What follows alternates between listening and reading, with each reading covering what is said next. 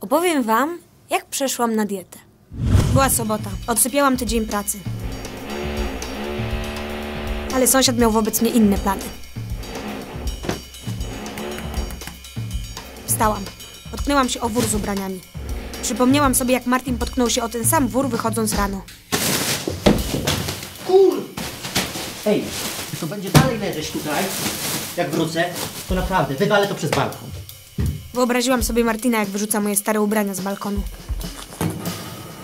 I sąsiadów śmiejących się z moich starych gaci. Która sąsiadka zrobiła gacie? Zaczęłam segregować. Moje ulubione spodnie z liceum.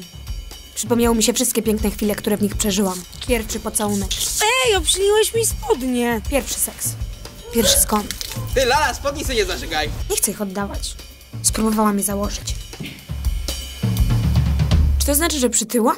Wyjęłam wagę. Stanęłam. Kurwa. Kurwa. A no, bo telefon miałam w kieszeni. No nie. Zdjęłam ubranie.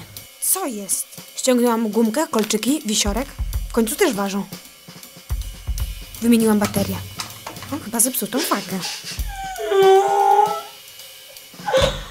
Poszłam do sąsiadki pożyczyć drugą. Cofnęłam się. Nie mogę pożyczyć wagi, bo pomyśli, że przytyłam i chcę to sprawdzić. Wymyśliłam alibi. Poszłam. No nie wierzę. Kogo widzę moje oczy? Moja ulubiona sąsiadka. Cześć, y, masz może wagę, bo chciałam bagaż zważyć. No jasne, już lecę. Proszę. Dzięki. Dała mi wagę. Do bagażu. Zaraz oddam. Usiadłam do komputera sprawdzić moje BMI. Hmm, w normie. Stanęłam przed lustrem. Nie jest w normie. Ty słonico z potrójną ciążą chyba potrafię właśnie tak zapuścić! Poszłam oddać wagę sąsiadce. Cofnęłam się. Muszę sprawdzić, ile powinien ważyć bagaż na wypadek, gdyby mnie o niego spytała. Chociaż w sumie, co by miało ją to obchodzić? Poszłam. No i co? Ile ważył bagaż? Zajebiście. Zmyśliłam szybko. 45 kilo. To chyba nadwaga. Rzeczy samej. Zaproponowała mi ciasto i wspólne ploteczki. No to co? Może wpadniesz na ciasteczko i małe sąsiedzkie ploteczki? Odmówiłam. Jasne, czemu nie? To znaczy, chciałam odmówić. Zapytała, czy zrobić kawę. Kawki? Zgodziłam się, Jasne. Czarna bez cukru. żeby nie przytyć. Już się robi. Zjadłam pierwszy kawałek ciasta. Rozmawiałyśmy o sąsiadach z pierwszego piętra. A słyszałaś o tym sąsiedzie z pierwszego piętra? Kawa była za gorąca. Rozmawiałyśmy o sąsiadach z drugiego piętra. A ten z drugiego piętra? Widziałaś go? Sąsiadka spytała, czy chce drugi. A co ty tak o pustym talerzu? Nałóż sobie jeszcze jeden kawałek ciasta, co? Odmówiłam. Jasne, czemu nie? To znaczy, chciałam odmówić. Rozmawiałyśmy o sąsiadach z trzeciego piętra. A słyszałaś o tym sąsiedzie z trzeciego piętra? Zaczęłam pić kawę. Z trenu. Rozmawiałyśmy o sąsiadach z czwartego piętra. A ten z czwartego piętra?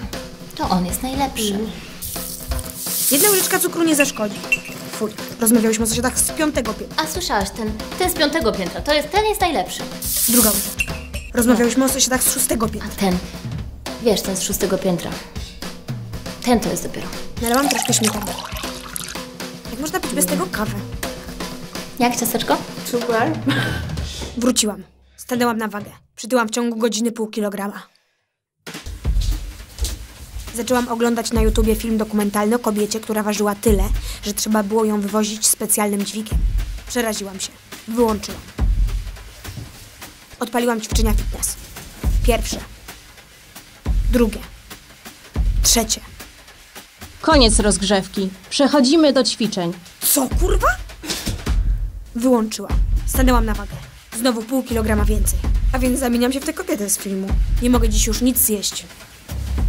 Dam radę. Minęło 10 minut. Dam radę. Pół godziny. Dam radę. Godzinę. Napiję się wody, bo oszukać organizm. Czemu woda nie ma smaku? Napiję się coli zero. Upewniłam się, czy na pewno nie ma kalorii. Nie ma. Napiłam się. Półtorej godziny. Pieprze, muszę coś zjeść. Spojrzałam do lodówki. 300 kalorii, 420 kalorii, 170 kalorii. Wyrzuciłam wszystko, żeby nie kusiło. Poszłam do sklepu. 200 kalorii, 460 kalorii. Zapytałam, czy jest coś fit. Czy jest coś fit? Że jakie? Zapytałam, czy jest coś dietetycznego. Czy jest coś dietetycznego? A Bo ja wiem. Może wafle ryżowe? Kupiłam. Wróciłam. Ugryzłam. Wyplułam. Wywaliłam. Szukałam w internecie przepisu na dobry dietetyczny obiad. Znalazłam. Poszłam do drugiego sklepu. Tego, na który nigdy nie było mnie stać. Nadal mnie nie stać, ale wygląd wymaga poświęceń portfela. 20 kalorii. 70 kalorii. 120 kalorii. 178 zł. Przy takiej diecie siłą rzeczy schudnę, bo nie będę miała za co jeść. Zrobiłam obiad. Nie wygląda tak źle, więc smakować też nie może tragicznie. Zrobiłam fotkę na Instagram. Średnio. Dodałam filtr. Lepiej. Dodałam opis. Diety czas start. Dodałam zdjęcie. Pierwszy like. Drugi like. Wspierające komentarze. O, i Ewa. No nareszcie czas najwyższy. Koleżanka z pracy. Chodzący ideał. Codziennie na pudełkowej diecie.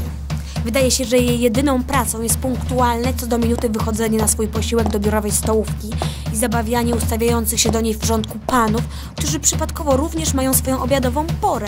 No i jestem też tam ja, patrząca na to wszystko.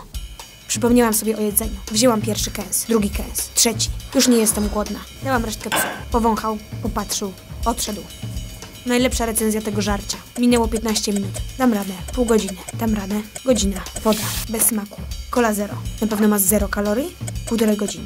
Lodówka. Same zdrowe żarcie. Spojrzałam do śmietnika. Tylko wafle ryżowe. Ugryzłam. Żułam. Wyplułam. Nie bez powodu znalazły się w śmietniku. Wzięłam telefon. Zadzwoniłam. I do pizza, w czym mogę pomóc? Rozłączyłam się. Dam radę. Spróbowałam zasnąć, by nie myśleć o głodzie. Zaczęłam liczyć barany. Przypomniał mi się burger z baraniny. Zaburczało mi w brzuchu. Zadzwoniłam jeszcze raz do pizzerii. Wyświetla im się numer i będą wiedzieć, że się wcześniej rozłączyłam. I do pizza. Rozłączyłam się więc znowu. Znalazłam inną pizzerię. Zadzwoniłam. Zamówiłam. Dzień dobry, chciałam zamówić dużą pepperoni. To było najdłuższe 45 minut mojego życia. I najpiękniejszy widok świata. I gdy już miałam brać pierwszy kawałek, usłyszałam przekręcanie kluczy.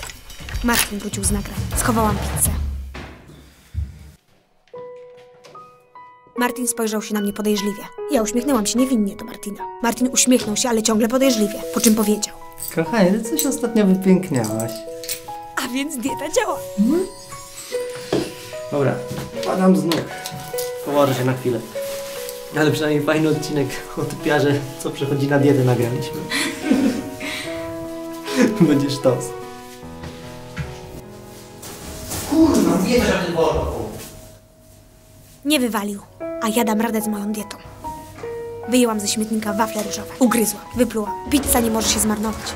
Zrobię sobie mały cheat day, ale od jutra już nie ma przebacz.